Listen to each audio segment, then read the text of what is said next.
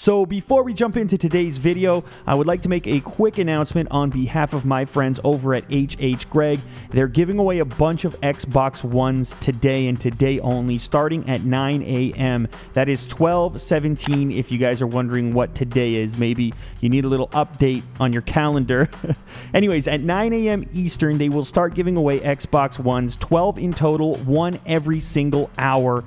It's very easy to participate. You can head over to hhgregg.com slash Xbox One, or you can just check out the description of this video where I will put all of the necessary details in order for you to participate. Pretty sweet deal. 12 total Xbox Ones, so a great shot at winning. Big thanks to HH Gregg, and let's get into the video. What's up, guys? It's Lew from Unbox Therapy, and today we're taking a closer look at some new speakers from Simple Audio. These actually perform a couple of different functions. By that I mean there are a few ways to get your audio into these speakers, and I'll be demonstrating that as the video moves forward, so definitely stick around. But of course, let's get started with the unboxing and see what they've included. Uh, the first thing we're going to talk about is this little extension cable. At first, I was unsure of what it was for.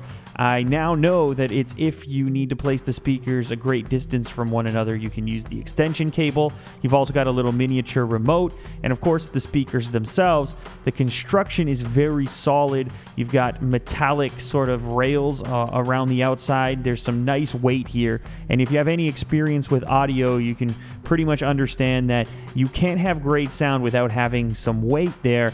That's because you have to have the nice driver components on the inside as well as a sturdy cabinet to resonate that audio. You've also got this box here which includes a power cable as well as a little power brick and then a couple of different interface methods for audio, including a USB cable, a micro USB to USB, and then, of course, the standard mini jack connector for just basic audio in.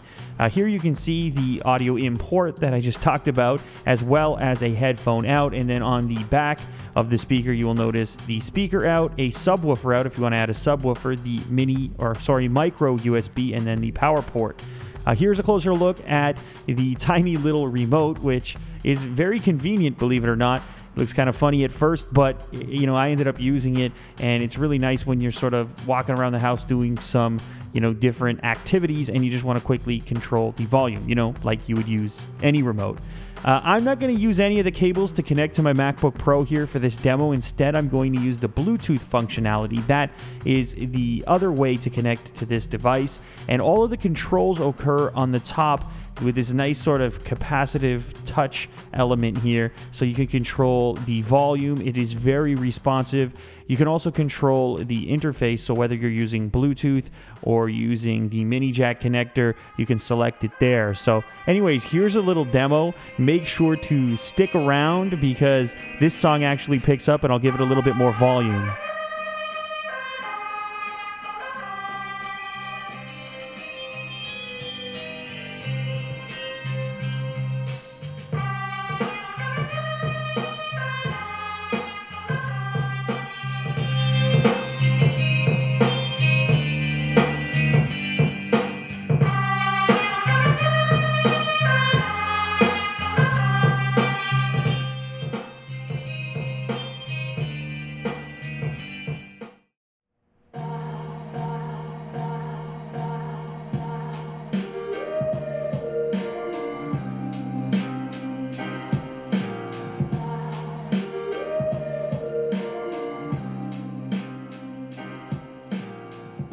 So, just like on any other audio product that I have to make a video on, it's tough to accurately portray the in person sound to you through a video because I don't know what kind of headphones you're wearing. And of course, it was recorded using the in camera microphone. So, it's just really tough. But uh, you can take my word for it that these things sound great.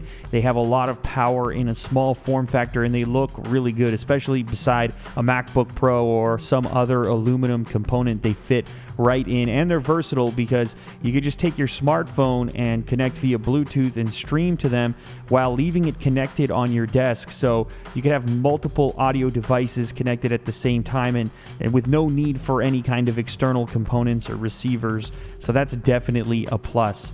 Anyway, guys, that wraps up this unboxing and first look at this wonderful little speaker set from Simple Audio. I will link it down in the description if you are interested in pricing, availability, or you want to pick up a set for yourself.